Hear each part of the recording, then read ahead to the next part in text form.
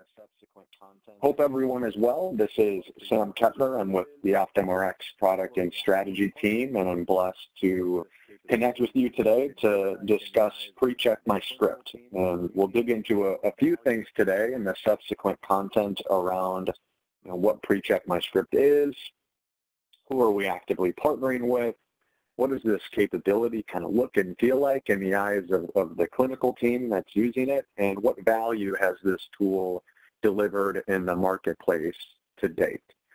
So with that said, we will we'll dive right in.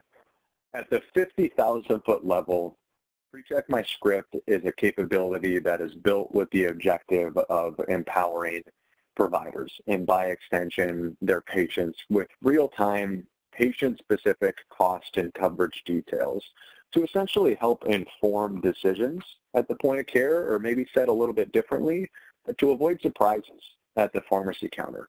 Surprises that you know, I'm sure you or somebody you know have experienced, like you know, how, much is this medication going to cost? Right? Maybe there's some sticker shock. Uh, is this medication covered? Uh, can I pick it up today if there's a prior authorization associated with it? Uh, or are there any you know, lower cost alternatives that are covered on my benefit design on my formulary that could save me some money, right? Those types of, of surprises that can lead to, you know, a pretty abrasive experience. One of the best parts about PreCheck My Script is that it is fully embedded within the physician's EMR or their electronic medical record, and even more specifically, embedded within the e-prescribing workflow. And you can see a quick snapshot here of what one of our EMR partners' uh, user interfaces look like. They're all a little bit different, but the core competencies around cost, coverage, uh, the lower cost alternatives, clinical alerts, those are all going to be consistent. I'll also mention that more broadly, when you think about the pricing and transparency strategy, the same capability that's fueling PreCheck My Script on the back end is also fueling uh, other capabilities like My Script Finder that consumers have access to and like uh, Navigator that the customer service, service advocates on the front line are using. So net net, if you're the, you know, the same patient using all of those different modalities for the same prescription, you're going to see consistent details communicated throughout all of those different touch points. Here's another kind of click down into what some of the preferred alternative medications, and what that user interface uh, looks and feels like. You know, we have an opportunity to provide uh, on formulary specific alternatives. It, it is not a one size fits all um, you know, sort of formulary across the 50 plus million lives that this, this capability is available for.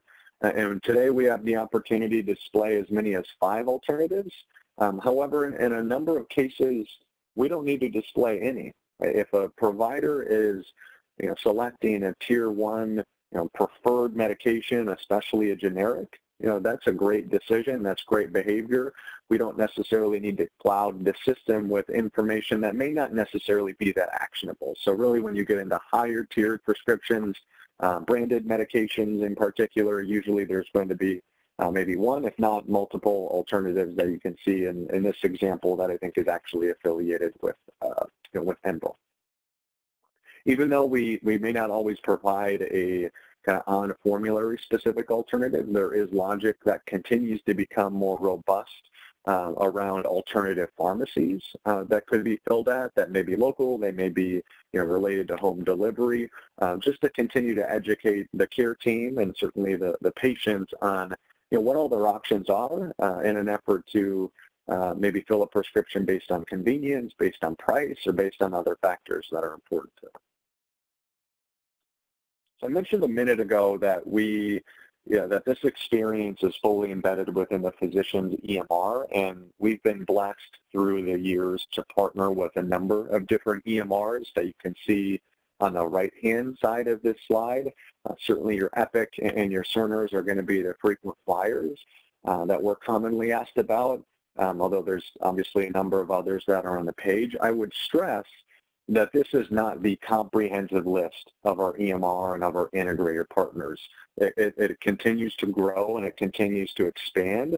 And actually, as of uh, tomorrow, which would be uh, June 26th, we're going to be going live with almost another 20 EMR partners that are uh, smaller, uh, maybe more more local in some specific markets. So, you know, I think the quick takeaway is that this list continues to change. It's a it's a constantly growing list in a good way as we continue to scale the network and ensure that providers have access and are using it in a in a meaningful way.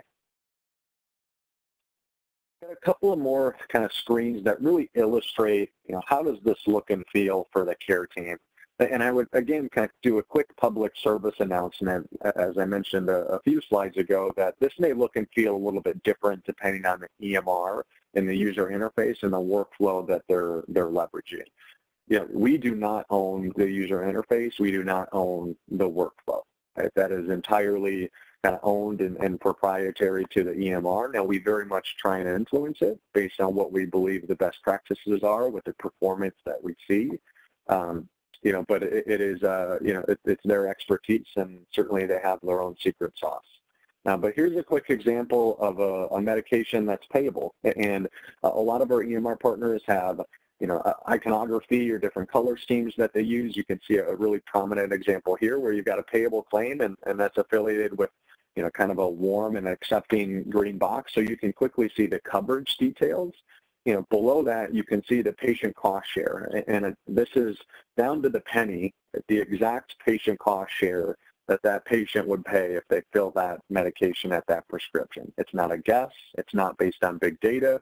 It's not something that we're inferring. You know, it is, you know, in essence, a copy paste from the, the trial claim that we are adjudicating within the RX claim platform. And certainly, as, as you can see on the bottom, there are some lower cost alternatives that are available that may save that patient money. And, and we find on average that when one of those lower cost alternatives is selected, that that's driving savings for the patient and by extension the plan. You know, the patient on average is saving about $225 you know, per switch to some of those lower cost alternatives. So there's uh, certainly a meaningful opportunity to influence affordability uh, and cost. Another quick example of the medication that you know may not be covered as part of the, the benefit design, you can see that green box shift to yellow just so it's a, a little bit more alarming and prominent and uh, you know, kind of as discussed a little bit earlier, there's some alternatives that are covered under the formulary, and you can see the, the patient cost share associated with that. I will note, since you do see NA you know, planned cost share is something that we are continuing to integrate within uh, this capability across a lot of our different partnerships. You know, kind of spawned by uh, members that are in hospice, um, you know, where they're obviously not responsible for paying the full cost of the prescription, the plan is, um, but it, it, will continue to expand from there. So physicians, especially if their patient is in a higher deductible plan where they're shouldering the full cost of the medication, um, they can understand um, you know, what is, you know, what's the cost of, you know, that prescription for that patient versus somebody, you know, that may be in a, a copay or a co-insurance type of a phase where you kind of have a split cost share between the plan and the patient. We've got one other example here, you know, with Lyrica. Uh, again, you can see the cost coverage and, and messaging details uh, with a, a, couple of alternatives that are, are available below. Uh, we do have some logic that is infused within this capability that will automatically swap uh, brands for uh, generics if a dispense as written isn't something that is selected during the e-prescribing process. So I think when you think about kind of those automatic substitutions in addition to the substitutions that you know may take place like the example that we were looking at before, uh, you know, we probably see switch rates in excess of uh, about 40, 45%. So pretty, pretty meaningful uh, changes both automatically and then also with the individuals that are, using the, the tool.